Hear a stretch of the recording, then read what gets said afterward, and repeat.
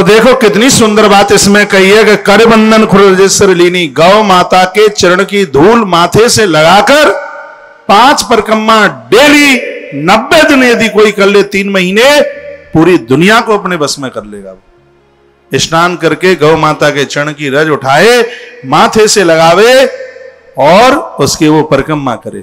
क्या सुंदर बात लिखा है, कपिला गौ ने जो करण हिलावे।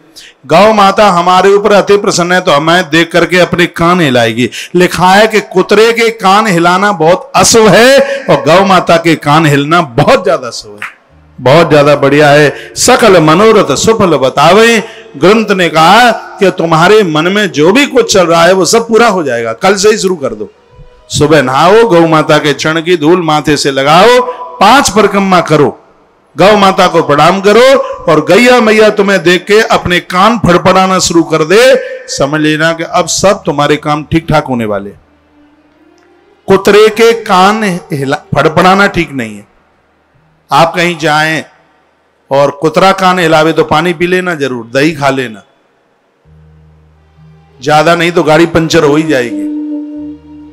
कुतरा का कान हिलाना ठीक नहीं है, फड़फड़ाना ठीक नहीं है, लेकिन गौ माता का कान फड़फड़ाना बहुत ज़्यादा है।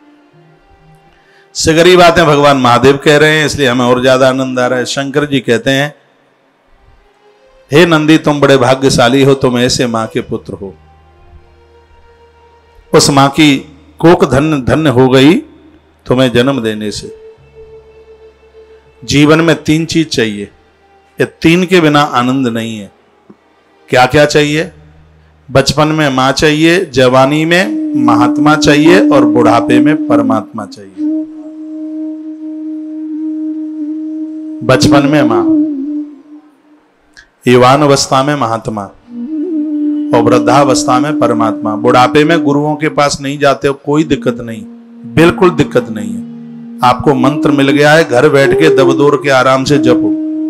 ज़्यादा धक्के बक्के मत खाओ, रपट गए तो पलस्तर चढ़ जाएगा और आपको पता है कि पुरानी दीवार के ऊपर तो प्लास्टर टिकता भी नहीं है तो पुरानी हड्डी पर कैसे टिकेगा? हाँ। यदि शरीर काम नहीं करता है तो ज़्यादा दौड़ धूप मत करो। आराम से घर बैठ के भजन करो। काशी गंगा सिगरे वही है फिर। और युवान अवस्था में डेढ़ महीना कम से कम 45 दिन एक वर्ष में कम से कम। ये तो मैं उनको बोल रहा हूँ, जिनको बहुत जवाबदारियाँ अभी घर की। उनके लिए डेढ़ महीना, उनके लिए डेढ़ महीना तीर्थ में। संतों के पास, गुरुजनों के पास। संसार विश्वविद्यालय, इसमें पढ़ाई करो। और ये ज़रूरी नहीं है कि दुनिया की सब बातें मान ही लोगे जो मानने लायक है, हृदय गवाही देता है, वो मानो। मैं तो कथा में हर तीसरे दिन बोलता हूँ, मैं तो यहाँ से सौ बातें आपको बताऊँगा। और बिल्कुल ये ज़रूरी नहीं है कि आप मेरी हर बात माने। जो मानने लायक है, वही माने।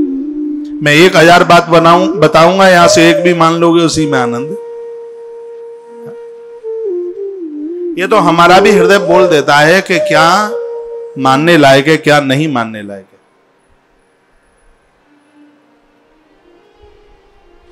ये अपने हृदय से अंदर से आवाज़